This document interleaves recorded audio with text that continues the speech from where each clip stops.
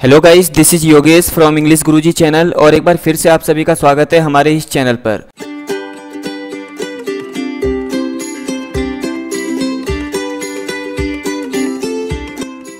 आज के इस वीडियो लेक्चर में हम बात करने वाले हैं टाइम से संबंधित वाक्य वीडियो लेक्चर फोर एक सीरीज़ चल रही थी जिसमें हमने टाइम से रिलेटेड सेंटेंस बताए थे आपको। उस वीडियो लेक्चर का ये वीडियो लेक्चर फोर है। अगर आपने इससे पहले के वीडियो लेक्चर नहीं देखे हैं तो उन सभी के लिंक आपको इस वीडियो के डिस्क्रिप्शन बॉक्स में मिल जाएँगे। आप चाहें तो वहाँ जाकर उन्हें देख सकते हैं।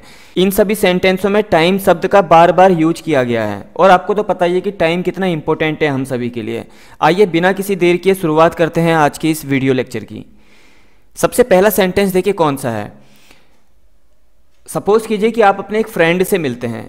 आप मीटिंग एंड करते हैं उससे। और वो आपको जाते वक्त कहता है कि कल समय पर आना, या फिर वो कहता है समय पर आना। इस तरह से आपको कहता है। तो इसको आप बनाते हैं, आप कहते हैं be on time be on time इसी तरह से अगला सेंटेंस देखिए, समय पर पहुँचना। अगर वो आपको समय पर आना के बदले, वो कहता है समय पर पहुँचना। तो इसको आप बनाते हैं reach on time reach on time next sentence मैं समय पर आ गया। आप पहुँच जाते हैं, आप इस तरह से कहते हैं, मैं समय पर आ गया। इसको आप बनाते हैं I am on time I am on time next मैं समय पर आऊँगा। इसको आप बनाते हैं I will be on time I will be on time next sentence देखिए, आप बिल्कुल समय पर आए हो, मैं जाने ही वाला था। सपोज़ कि आप निकलने वाले हैं घर से तो आप कहते हैं इस तरह से, आप बिल्कुल समय पर आए हो, मैं जाने ही वाला था।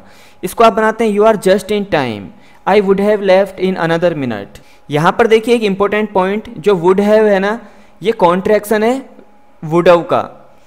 W O U L D apostrophe V E इस तरह से हम इसको लिखते हैं और इसको हम प्रनाउंस करते हैं, यानी उच्चारण करते हैं वुडव ठीक है? कॉन्ट्रैक्शन क्या होता है? जब दो शब्दों को या दो से अधिक शब्दों को हम जोड़ देते हैं आपस में, मिला देते हैं, उसके बाद एक शब्द बनता है ना, उसको हम कहते हैं कॉन्ट्रैक्शन तो इस सेंटेंस को आप कॉन्ट्रैक्शन के थ्रू बनाएँगे तो आप कह सकते हैं you are just in time I would have left in another minute यहाँ पर देखिए वुड हैव को हमने जोड़ दिया। अगला सेंटेंस देखिए, मेरे पास समय नहीं है। इस तरह से आप कहते हैं I do not have time I do not have time और इसी सेंटेंस को अगर आप कॉन्ट्रैक्ट करके कहेंगे तो कैसे कहेंगे? आप कहते हैं I don't have time I don't have time यहाँ पर देखिए जो डू नॉट है, इसको हम कॉन्ट्रैक्ट करते हैं तो ये बनता है डोंट इसलिए तो हमने कहा आई डोंट हैव टाइम अगला सेंटेंस देखिए, हमारे पास ज़्यादा समय नहीं है।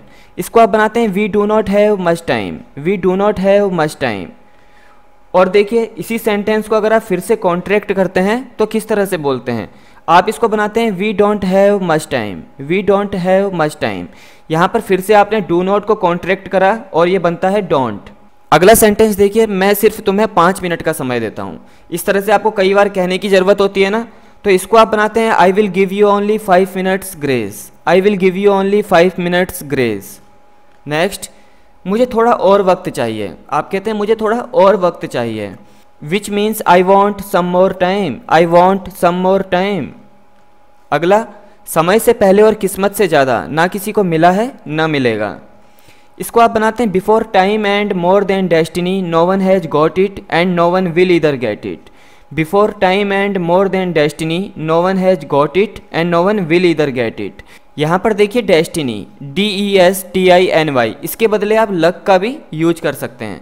आप इसको बनाते हैं before time and more than luck no one has got it and no one will ever get it which means समय से पहले और किस्मत से ज़्यादा ना किसी को मिला है, ना मिलेगा। तो गाइस ये थे आज के 10 इंटरेस्टिंग टाइम से रिलेटेड सेंटेंस आई होप कि ये वीडियो लेक्चर आप सभी को पसंद आया होगा। अगर ये वीडियो पसंद आया तो इसको लाइक करिए और अगर आप इस चैनल के लिए नए हैं तो इसको सब्सक्राइब कर लीजिए। ताकि जब भी कोई वीडियो अपलोड हो, उसका नोटिफिकेशन आपको मिल पाए और एक भी वीडियो लेक्चर आप मिस ना कर पाए। मिलते हैं अगले वीडियो लेक्चर में, तब तक के लिए गुड बाय